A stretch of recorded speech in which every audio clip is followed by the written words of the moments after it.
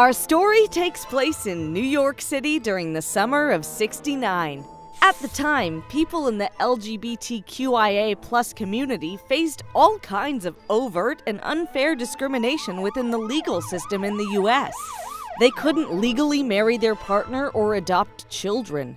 They weren't allowed to serve in the military. They were barred from working for the federal government and routinely dealt with harassment and persecution. It was bad, really bad. Some cities enacted even stricter laws designed specifically to make it harder for LGBTQIA plus people to build community. The Big Apple was no different. In 1969, it was illegal in New York City to serve an LGBTQ plus person an adult drink or to dress as a member of the opposite sex. The rules were ridiculous and brazenly oppressive. Even so, there were still a few places where people could meet in private without prying eyes trying to separate them. One of those places was called the Stonewall Inn. It became well known as a gathering place for the community, and as a result, got regular visits from the police. They would show up unannounced, arresting anyone they could. For the patrons of the Stonewall Inn, it became a danger they were forced to brave in order to be themselves, and eventually, something had to give. That day was June 28, 1969. It started like any other night at the Stonewall Inn.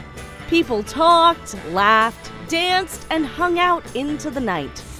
Like many times before, the mood suddenly changed as police officers flooded in around 1 a.m. They started wrangling as many people as they could, mostly employees, drag queens, and cross dressing patrons.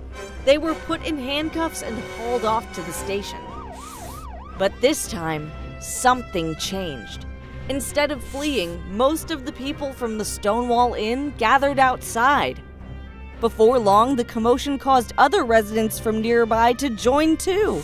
Now, a group of around 600 people were holding a spontaneous protest against the police, the unjust laws, and the way police and lawmakers were both mistreating the LGBTQIA plus community in the city.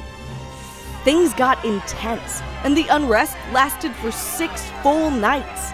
The news sent a shockwave across the city and ultimately the whole country. The tragic events of Stonewall became something of a rallying cry for people to finally start to stand up and protect the rights of LGBTQ people in the US. The incident became known as the Stonewall Uprising in the newspapers, and its impact was quickly felt across the United States. A year later, thousands marched to commemorate the Stonewall riot, which many consider to be the very first Pride Parade. Inspired by New York's example, activists in Los Angeles, San Francisco, Boston, and Chicago organized gay pride celebrations for that same year. For the first time, LGBTQ plus Americans across the country started to really see themselves as a community that could work together to fight for their basic rights. Older gay rights organizations gave way to newer, more effective groups like the GLF and the GAA. Today, tons of cities and towns all over the nation celebrate Pride Month in June, and many of them have large parades or festivals to help spread the love. And it's not just the US. Lots of other cities and countries around the globe celebrate Pride Month. But wherever you are in the world this June, it's important to remember no matter how far we've come since Stonewall, there's still tons of places around the world where LGBTQ plus people are routinely oppressed, which means it's just as important as ever to show your pride and support. Thank you.